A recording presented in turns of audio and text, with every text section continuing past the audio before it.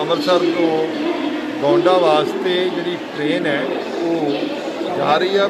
ਜਿਹੜੇ ਪਰਦੇਸੀ ਸਾਡੇ ਮਜ਼ਦੂਰ ਨੇ, ਦੂਜੇ ਰਾਜਾਂ ਤੋਂ ਆ ਕੇ ਇੱਥੇ ਕੰਮ ਕਰਦੇ, ਮਜ਼ਦੂਰੀ ਕਰਦੇ ਸੀ, ਉਹ ਆਪਣੇ ਘਰਾਂ ਨੂੰ ਜਾ ਰਹੇ। 1188 ਜਿਹੜੇ ਆ, ਉਹ ਮਜ਼ਦੂਰ ਇਹਦੇ 'ਚ ਜਾ ਰਹੇ ਨੇ ਔਰ ਇਹਦਾ ਜਿਹੜਾ ਸਾਰਾ ਕਿਰਾਇਆ ਆ, ਜਿੰਨਾ ਦਾ ਖਰਚਾ ਆ, ਉਹ ਪੰਜਾਬ ਸਰਕਾਰ ਦੇ ਰਹੀ ਹੈ। ਕੈਪਟਨ ਸਾਹਿਬ ਦਾ ਇਸ ਦਾ ਧੰਨਵਾਦ ਹੈ, ਕਿਉਂਕਿ ਇਹ ਬਹੁਤ ਸਾਨੂੰ ਇੱਥੇ ਪਰੇਸ਼ਾਨ ਕਰਦੇ ਸੀਗੇ। ਅਸੀਂ ਵਾਪਸ ਜਾਣਾ ਚਾਹੁੰਦੇ ਆ ਔਰ ਮਹਿਸੂਸ ਕਰਦੇ ਸੀ ਕਿ ਪਰਿਵਾਰ ਦੇ ਵਿੱਚ ਪਹੁੰਚ ਗਈ ਇਹੋ ਜਿਹੀ ਮਹਾਮਾਰੀ ਫੈਲੀ ਆ ਇਹਨਾਂ ਦੀਆਂ ਮੰਗਾਂ ਨੂੰ ਧਿਆਨ 'ਚ ਰੱਖਦੇ ਹੋਏ ਪੰਜਾਬ ਸਰਕਾਰ ਨੇ ਟ੍ਰੇਨ ਦਾ ਜਿਹੜਾ ਇੰਤਜ਼ਾਮ ਕੀਤਾ ਹੈ, ਇਹ ਬਹੁਤ ਸੁਣਾਉਣਯੋਗ ਆ।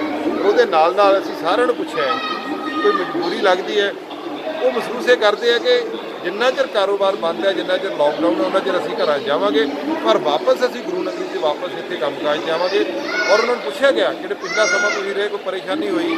ਉਹਨਾਂ ਨੇ ਕਿਹਾ, ਹਰ ਚੀਜ਼ ਸਾਨੂੰ ਇੱਥੇ ਮਿਲੀ ਆ, ਰਾਸ਼ਨ ਵੀ ਮਿਲਿਆ ਹਰ ਤਰ੍ਹਾਂ ਦਾ ਜਿਹੜਾ ਪ੍ਰਬੰਧ ਸੀ, ਉਹ ਪੂਰਨ ਤੌਰ ਤੇ ਅੱਜ ਪੂਰੀ ਸਕਰੀਨਿੰਗ ਕਰਕੇ ਇਹਨਾਂ ਦੀ, ਕਿਉਂਕਿ ਥਰਮਲ ਥਰਮਲ ਸਕਰੀਨਿੰਗ ਦੇ ਨਾਲ ਹੀ ਇਹਨਾਂ ਦਾ ਟੈਸਟ ਹੁੰਦਾ ਹੈ ਔਰ ਪੂਰਨ ਤੌਰ ਤੇ ਪ੍ਰਬੰਧ ਜਿਹੜਾ ਕੀਤਾ ਗਿਆ, ਔਰ ਬੱਸਾਂ ਲਾਈਆਂ ਗਈਆਂ, ਅਲੱਗ 10 ਸੈਂਟਰ ਬਣਾਏ ਗਏ, ਉਹਨਾਂ ਤੋਂ ਬੱਸਾਂ ਦੇ ਰਾਹੀਂ ਟ੍ਰੇਨ ਚਲਾਇਆ ਗਿਆ, ਔਰ ਸੋਸ਼ਲ ਡਿਸਟੈਂਸਿੰਗ ਦਾ ਪ੍ਰੋਪਰ ਧਿਆਨ ਰੱਖਿਆ ਗਿਆ ਕਿ ਹੋਰ ਵੀ ਟ੍ਰੇਨ ਜਾਣਗੀਆਂ, ਜਿੰਨਾ 64000 ਦੇ ਕਰੀਬ ਇੱਥੇ ਰਜਿਸਟਰਡ ਹੋਇਆ ਹੈ ਅੰਮ੍ਰਿਤਸਰ ਦੇ ਵਿੱਚ, ਔਰ ਅਲੱਗ-ਅਲੱਗ ਸਟੇਟਾਂ ਦੇ ਵਿੱਚ, ਸਾਰੇ ਆਪਣੇ ਇੱਕ ਧਿਆਨ ਰੱਖਣਗੇ, ਉਹਨਾਂ ਦੇ ਮੋਬਾਈਲ ਦੇ ਉੱਤੇ ਮੈਸੇਜ ਆਏਗਾ।